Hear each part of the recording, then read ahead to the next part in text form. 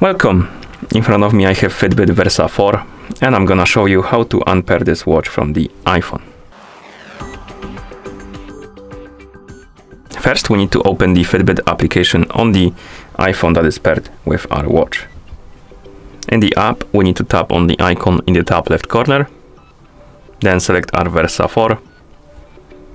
Here scroll down, tap on remove this Versa 4